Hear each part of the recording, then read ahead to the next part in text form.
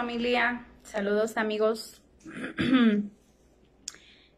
Voy a mostrarles el procedimiento de cómo hacemos nosotros una pizza.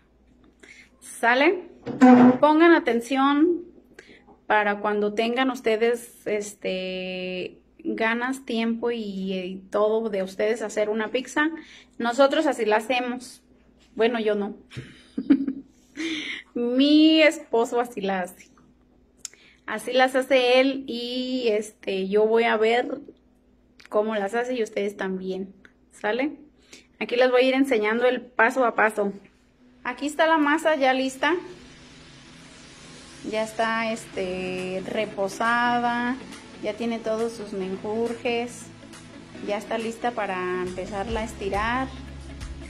Una que ya se va a ir como yo les comenté en, en, en, un video anterior, lo vamos a hacer a, las, a la leña. No va a estar horneada. Ahí están. Los champiñoncitos. A mí me gustan las pizzas de champiñones. Si una pizza no tiene champiñón, es como de... Aquí vas a ver esa pizza. Me gusta con champiñones. Échenle todo lo que quieran, pero el champiñón no puede faltar. A mí me gusta eso. Y aquí ya están. Van a ser tres. Pepperoni tocino con champiñones. Tocino, no es cierto, ese es pepperoni y jamón. Y ya ahorita les enseño cómo nos vamos a meterlas a cocinar, a la cocción. Y aquí están ya listas.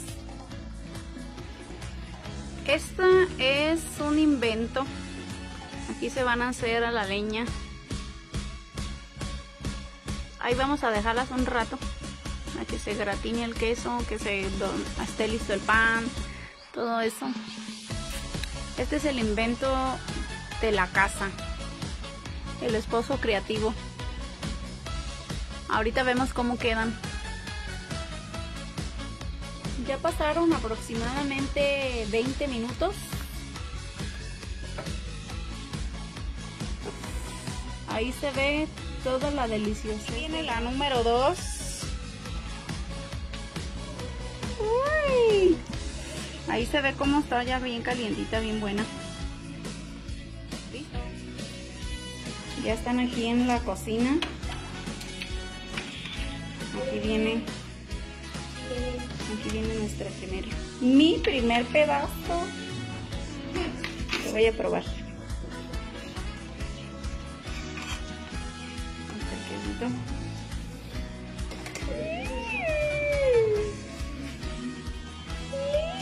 Amigos. Vámonos, vámonos, vámonos. Vamos a probarla. Lo principal que necesitas para hacer la pizza en tu casa es tener tu esposo que te la haga. Porque yo no me animo.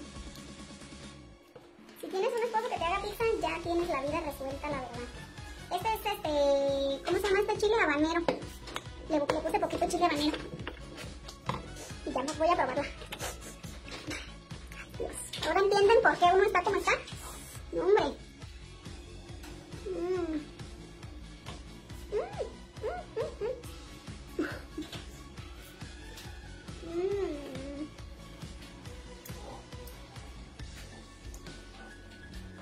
Más se le quedan bien buenas.